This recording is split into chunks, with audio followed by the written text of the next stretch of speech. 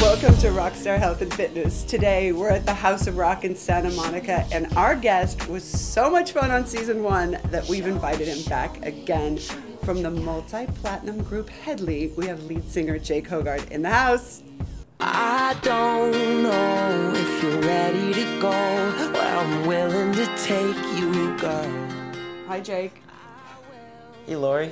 How's it going? 60 40. 60 good? Yeah, I always say the winning team score first. Okay, okay, God, good. Yeah, Thanks for the clarification. Yeah. I'm, I'm good. I'm good. I'm holding it together. yeah? Yeah. We've obviously covered some ground this summer traveling, haven't we? Yeah, I'd say a substantial amount of globe has been trotted by us. Jake, Dave, and I have literally traveled most of the United States promoting your latest single. Kiss You Inside Out. Yes, Kiss You Inside Out. They're number one in Canada and top 25 here in the US. Yeah.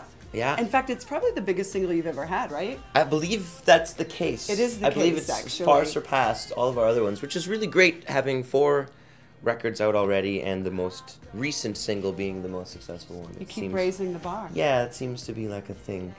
Fantastic. I'm happy with that. It's harder to climb up onto it sometimes. And you like, like in the to morning climb. when you don't stretch. Or... And speaking of raising the bar, what's next for Hedley? Well, Frig, um, that's a great question. You know, we're gonna be playing some shows all the way through the new year, and then we're gonna jump into the studio and make a fifth studio record. So that's a really exciting thing too, just because that like.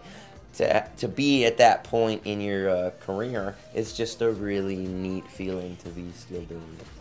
And raising the bar. Just raising bars. And obviously, since we've been traveling all summer and having a lot of fun out on the road, I know how busy you are. Yeah. Your schedule's a little crazy, Yeah. thanks to me. It's pretty slam packed. Um, so, how do you incorporate health and fitness into your busy schedule? I try to like for the most part, even at if we're just in the middle of nowhere and all they've got is a TGI Fridays, I'm gonna eat spinach salad. Nice. You know, get some salmon on it too.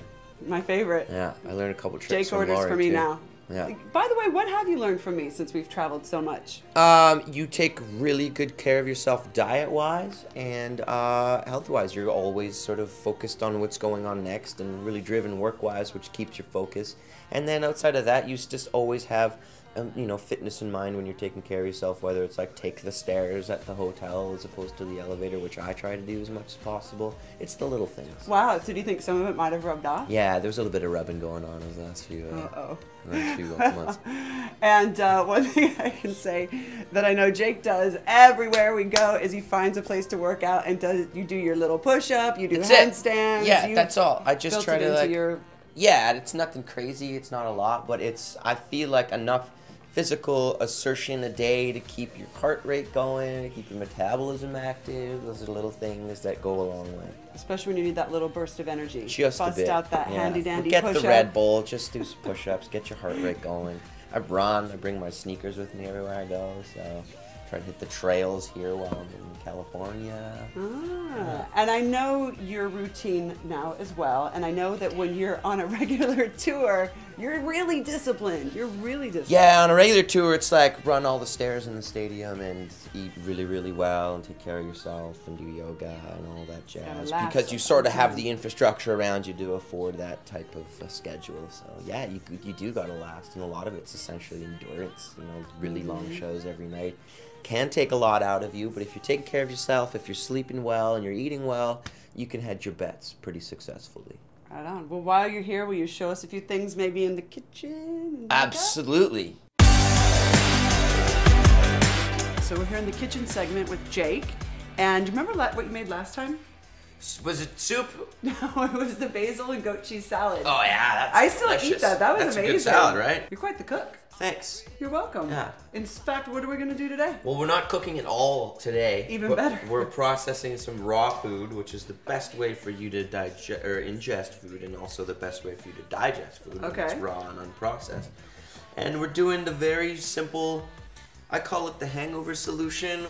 Uh, the ingredients we have very, very simple, very straightforward. Bananas, which are made of 100% real banana, and uh, some, Nothing processed. No, some classic California avocados, which is a super fruit. Is it a fruit? Yes. Yeah, yeah. I'm going with it. And um, And, and, pineapple. superfood, so you're right. High, high, high, high, high in vitamin C Okay. and really, really good natural sugar for you, especially after you've been dehydrated. So the Ah. combination of the three together, uh, the bananas and pineapple especially, take away a little bit of that almost meatier avocado taste because avocado by itself isn't necessarily sweet, but it's incredible for you. And so the combination of the three in a smoothie is exactly what you need to get yourself out And of bed on. bananas and avocados are perfect for the consistency of the smoothie. They help, Absolutely. right? No, for how smooth it gets and uh, yeah. Exactly. Yeah. All right, so Joe, what do we do? Well, what you do is you put the avocado in the thing, but you can't use a full avocado because there's a pin in it, silly turkey. Don't mess up my little blender. Yeah. So I've I've uh, we had some slaves pre-cut the avocado, AKA you. aka I did it, and then uh, it's go straight to Banana Town, and uh, this is how I always peel bananas. You know what else That was I- actually really smooth. Of me That was. there just now. That was a perfectly ripe banana. You know what else. I like to put in my smoothies? Liquor. I do. What? Liquor. exactly, whiskey. No, just kidding. Almonds. Where's the? Almonds. You have almonds? Oh, really? Yeah, yeah, That- yeah, and then you get protein in it What an too. incredible item here you have. This is my this. I'm gonna honestly tell you, it's changed my life. I because to- you can put anything in there. put everything in it, and it just comes in its raw form. You'll see how. Legos and I should have put more banana, but I'm cramming it Put- in there. put more. I think it's gonna be. We're really testing the magic bullets limits. It does pretty well. I, I test it regularly. So because I'm healthy that I can do that. All right, this is this is in here now. Okay, we need some Yeah, liquid though. little juice, little pineapple, so you 100 could, percent, you could probably put just about anything in there. made from 100 percent Just- fresh pineapple. Yeah, you could put any juice in here.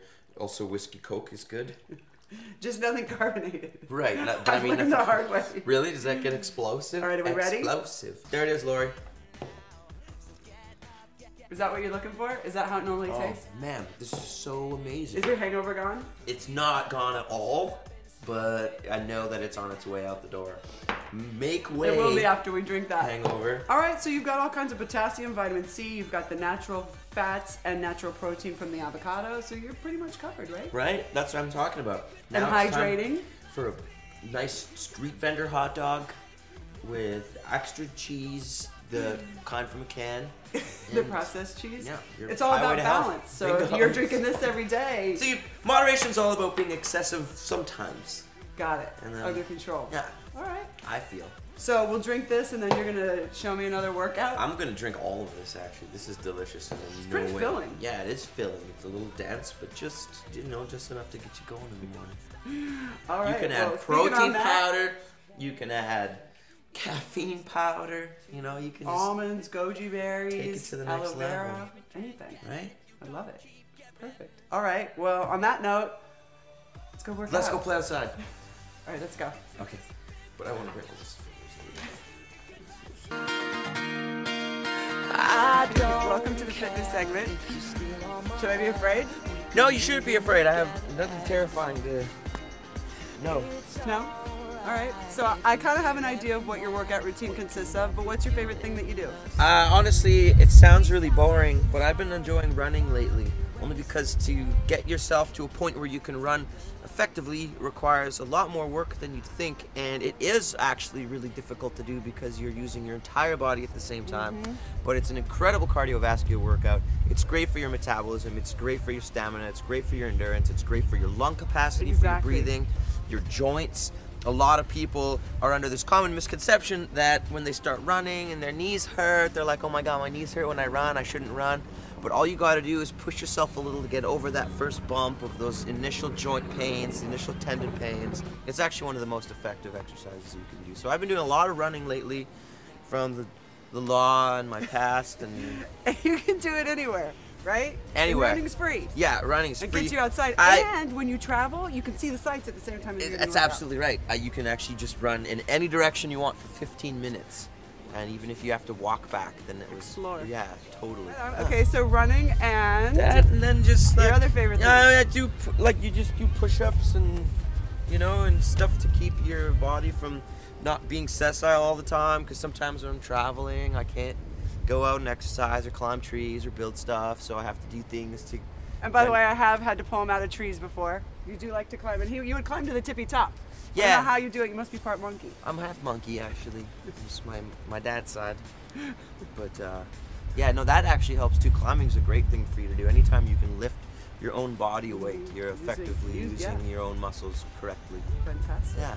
All right. Well, we'll start climbing trees, but first, you want to show us your fantastic push-up? Oh, okay. I like to do it on stuff that's higher. Okay. I drag this over here. This loud thing, for example, it's really effective. Anyways, when you do that, you just kind of are like raising the amount of weight your body has to uh, has to carry Wow. for it. So then you can just sort of do that however you want. You could do this if you have like a sore leg or something. You can do it that way. But for the most part, that's kind of all it is. I always like to do it like this. This is how my dad always did. it. He said Why? this is how men do it. What does that do? I don't know what it does, but it's better for your wrists as opposed to this, where that's kind of intense on Ah, your wrist. That's it. just like a little more. Uh... All right, should we demonstrate our favorite thing?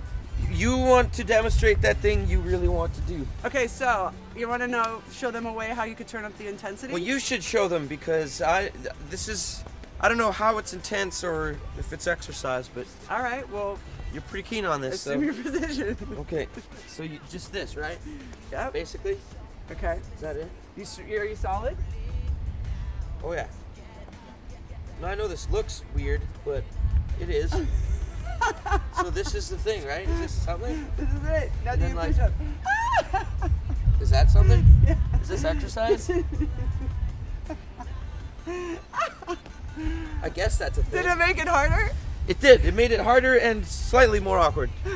All right, so there you have a couple options to choose Yeah, from. this- Regular push-up, you could use the table, or you could do partner push-ups. Partner push-ups are also a thing nowadays. Just keep running, keep moving. Keep running, keep moving, keep your body active. That's probably the best thing you can do. Most of us just sit around all day, too and long your body anyway. adapts to your lifestyle. So if you're sitting around, your body's going to be That's a great point. Your body does adapt to your lifestyle, and the more active you are, the more responsive your body becomes. And- At any and- age. And it transcends into your life on every level, It right? should. That's what's so great about uh, being a human being and capable of moving around is that we should.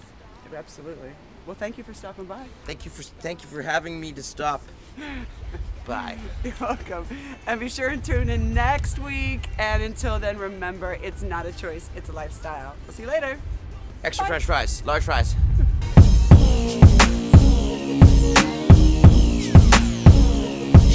What you got.